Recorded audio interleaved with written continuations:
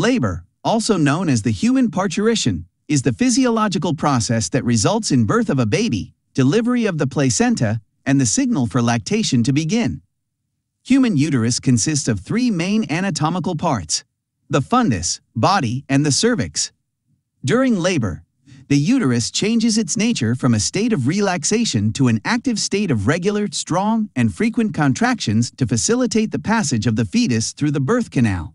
In addition, the cervix, which was initially long firm and closed with a protective mucus plug, will soften, shorten, and thin out for labor to progress. Labor can be divided into three stages. The first stage is the period from the diagnosis of labor to full dilation of the cervix. Second stage is the period from full dilation of the cervix up to the delivery of the fetus or fetuses. And the third and final stage is the period from the delivery of the fetus to the delivery of the placenta and membranes. Usually, this stage does not last more than 30 minutes. One of the earliest signs of labor is labor contractions. Usually, they last for about 30 to 90 seconds, and with time, they become more intense and more frequent. At this time, the midwife or a doctor will perform a vaginal examination and confirm labor.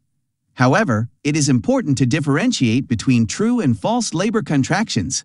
False labor contractions are also known as Braxton Hicks contractions. Unlike true contractions, these are less intense and have an irregular nature. They usually occur about once or twice per hour and do not increase in frequency with time. And they resolve with movements. In addition, other signs of labor will not be there with Braxton Hicks contractions. Along with true labor contractions, individuals also experience an intense back pain, which radiates to the front of the abdomen. They will also have a lower abdominal pain and heaviness in the pelvis. Around these events, the individual may have blood-stained vaginal discharge, also called the show.